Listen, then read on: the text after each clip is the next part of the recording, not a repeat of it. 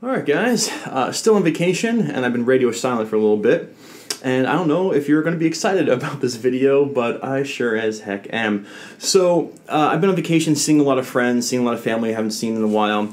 And uh, it, in this like sheer like coincidence of things, uh, the topic of Dave Matthews came up a lot uh, in, in my travels. Like, do I teach a lot of Dave Matthews? Do you like Dave Matthews?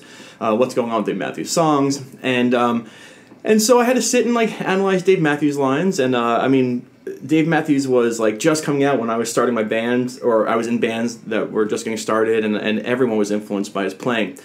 And so to learn about the Dave Matthews trick really is about uh, learning how to see deeper into your chords and, and about um, how to exploit the sounds that are inside of chords. Now, he is not the only one to use this. Um, very famous guitar lines use this trick all the time, but Dave Matthews is so like stylized um, in his playing that he uses this stuff all the time. It's what makes Dave Matthews Dave Matthews. Now, with that being said, you can use any of the stuff we're talking about to make anything in your song better, and that's the truth. Um, and I'll explain what's happening.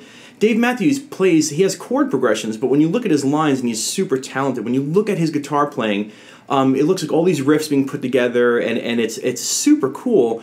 But when you kind of take a step back, you can see what's happening. So we're going to dive right in with some like Dave Matthews talk, and then I'll show you how you can do this in other places and show you other guitar players that do this. But let's just start out with some simple Dave Matthews stuff. Um, one of his very popular songs is this song here.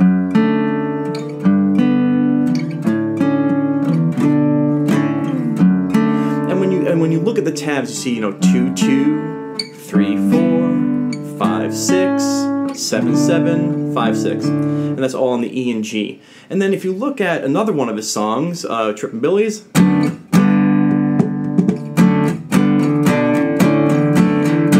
It's the same exact stuff at a different pace. And a lot of his songs have these chords in it. So what's happening here in the Dave Matthews style is Dave Matthews, um, first of all, he likes writing in the key of D. Most of his songs are in D. They're in D's, G's, A's. Uh, in there. It's, it's probably where his vocal range is and why he likes it so much. So when you look at what's happening in the key of D here, um, like how does this work? Well, uh, really the first chord is an F sharp minor. And if you look in um, the key of D, the F sharp minor is the three chord, and I should have everything up right here, you know. Uh, F sharp minor, uh, and if you look at these two notes, sorry, I'll raise my hand, like boom, boom. He's playing the root note and the minor third. Just the two pieces that give this chord the identity, root, minor third. The second piece is, and what that is really is a G chord. It's the root and the major third. And so you can see right off the bat what he's doing is he's playing the roots and the thirds of the chord progressions that he likes. And, and this little switcheroo, usually when he plays minor, he plays minor with the middle finger on the root and the ring finger on the minor third. And then for major, switches the first finger to the root and keeps the uh, ring finger on the major third. He comes up here, and that is root and major third of the A chord. And then you'll see uh, him do up here, when you see this shape, you want to think minor, middle finger, ring finger, minor. This is the minor, B minor. Then again, I'm not teaching how to play the song, I'm showing you, but if you look at F sharp minors, G majors, A majors, and B minors. And listen to how the song would have sounded if he just played it with the chords.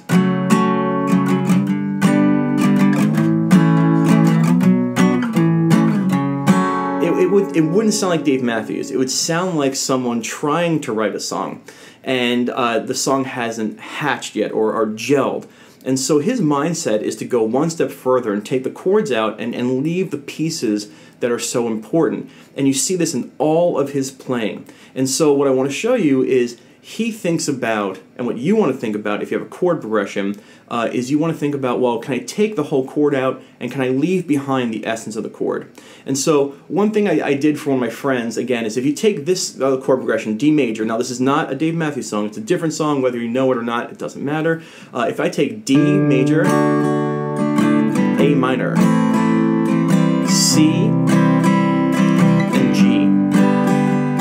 might know what the song is, but again, just, think of as progression. A minor, C, and let's say you have a song that you write with this, but you want to make it sound a little more delicious. Well, okay, D, All right, so in its Dave uh, Dave Matthews style, you'd find the D on the E string and the major third. All right, and then A minor. Okay, you'd go to the fifth fret, and then there's the minor third. To a C, C major third, then G major. And so if Dave Matthews were to like attack this progression, he'd probably be, doing something like this.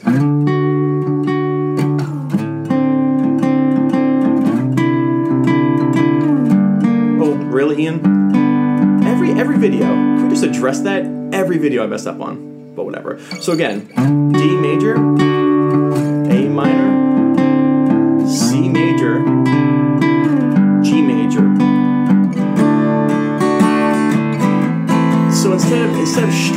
chords out, you'd probably attack it with this.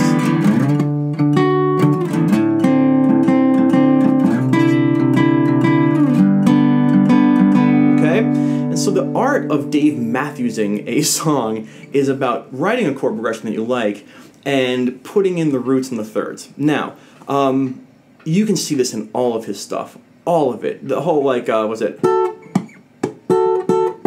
If that's uh, if that's ants marching, um, you know the this that is a, a root note in its major third.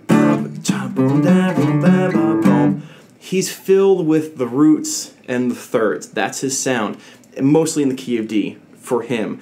And so you want to be able to see your chords, know your CAGED chords. Go go look at my videos about the major CAGED chord system and the minor CAGED chord system. Um, it'll help you see these notes a lot better. But let me show you some examples of other songs that have this, which is uh, the one that I thought of instantly is Tracy Chapman's Fast Car. You know, like there it is right there on the E minor, root and minor third. Now I, I know this is a different string, but when you look at the E minor, you have the root and the minor third. So this is going to help you start to realize where those roots and thirds are. And then, you know, if you don't like moving around, you can learn how to find those notes. Uh, really? And say, okay. And start.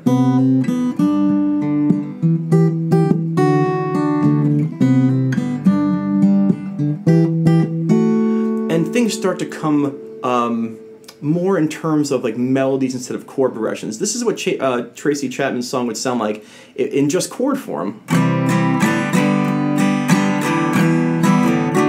the question is, could you listen to that? Could you listen to that for four and a half minutes without getting bored? I don't know, but this one keeps the ear entertained. So the whole Dave Matthews effect is about taking chord progression and really just finding the roots and the major thirds. And you know, one of the most famous songs that does this, mm-hmm. Blackbird. These are all these like this is the root and the minor third. And so you can get some melodies from doing this type of stuff. So what is your homework here? Well, your homework is to, you know, take a simple chord progression, uh, anything that you like. It could have minor chords, could have major chords. Um, maybe you have a song that exists already, but you need something a little more spicy in it. Now, you're not going to make it sound like Dave Matthews because um, just doing this, people aren't going to be like, oh, it sounds like Dave Matthews. You're just kind of spicing the song up. So uh, I'll do it one more time with a totally different chord progression. I'll make it up here. Let's say it's, um, I don't know, uh, okay, C, G, and F. You know, something simple. C, G. The more chord inversions you know, uh, chord voicings, the more interesting it's going to get. So a C, let's find a, a cool C chord. Okay, so here's a, well, here's a basic C chord, E shape, right?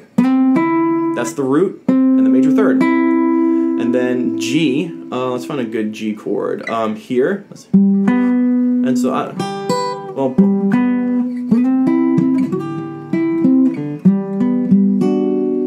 now uh, F, right on. Is that my chord? F, right? So, well.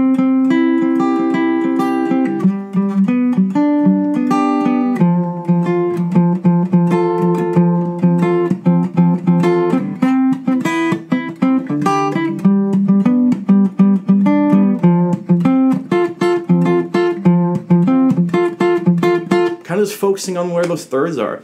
So, Dave Matthews, uh, the beauty of his playing is taking chord progressions and breaking them down into their ones and threes mostly. So go have fun with this. This whole idea is just to get you just to go and discover more um, uh, getting more inward on your chords. Like instead of saying a G, just really looking at that G chord and, and trying to get a little bit deeper. Where are my thirds? Where are these root notes? And, and where are they in all these chord voicings? And how can I get them to sound a little bit better than just blatant uh, chord strumming? So I hope this all makes sense. It's just a, an enjoyable task for you to do. Take one of your songs, one of your creations, and put a Dave Matthews twist to it. Um, again, I'm on vacation, and so this is a quick little discussion that I was having with my friends. I hope you enjoyed it, and I'll be back soon to the normal schedule as soon as I get back to my home. Rock and roll. Bye bye.